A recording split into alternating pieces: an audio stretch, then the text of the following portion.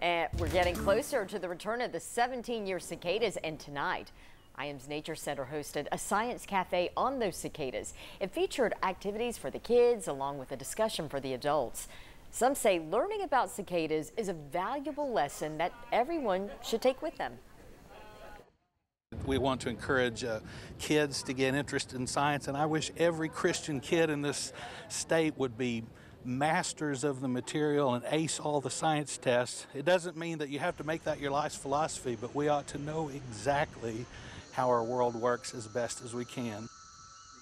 Science Cafe event started way back in 2011. Tennessee football.